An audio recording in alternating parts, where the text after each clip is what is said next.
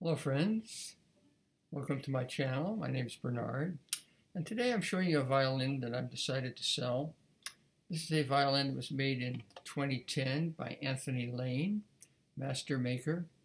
It's a very very lovely violin. I've recorded a number of uh, pieces that I put on YouTube and I'll play for you today the first movement of the Saint-Saëns Violin Concerto number 3 to show you some of the capabilities of this instrument.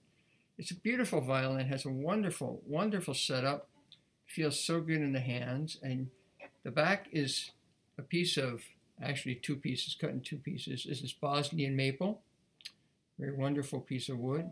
The top is spruce from the famous forest that Stradivari cut his wood from also. So it's wonderful, wonderful spruce and Bosnian maple. Beautiful, beautifully carved scroll. This is one of the reasons why I bought this violin to start with because I just fell in love with the scroll. The scroll is so beautifully carved, really, really wonderful work. One of one of um, Anthony Lane's finest, finest creations. Beautiful purflings, purflings cut. Look at look at the the corners cut this is very, he told me, he says, it's very, very difficult to do this, but he says it was worth it. He, he, loves, he loves this violin. So at any rate, I'll play this violin for you. I'm asking, he's, he's selling for more than, than this, but I'm asking $20,000 for this violin.